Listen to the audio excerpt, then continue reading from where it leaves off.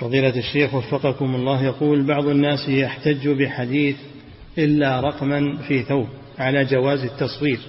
الرقم هو النقش في الثوب هو النقش في الثوب. بعضهم فسرها بالصورة ولكن هذا ما ما هو صحيح. المراد به النقش نعم.